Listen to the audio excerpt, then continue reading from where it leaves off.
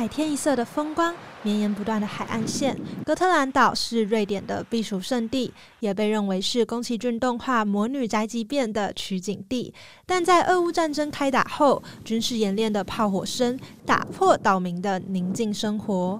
I have a very strong feeling that all the products that they use over there, you know, the leftovers from the machineries and the guns and other things that might use, I, I, I feel that that has a big impact on the quality of the soil, the water, and the air around us.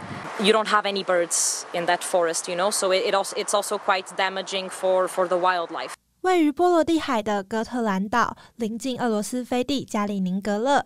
在二零一四年俄罗斯并吞克里米亚半岛后，开始加强军备。由于瑞典与芬兰在今年六月加入北约，让岛上紧张情势升温，成为瑞典抗俄的最前线。频繁的军事演习污染环境，造成岛上水资源短缺。Water is very sensitive on this island. We don't have enough water.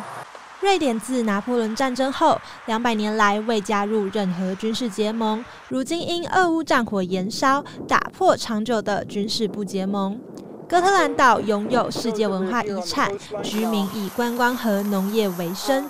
然而，近来军事演习的炮火残骸，成为这处旅游胜地的新风景。岛民安居乐业的生活也笼罩起战争风云。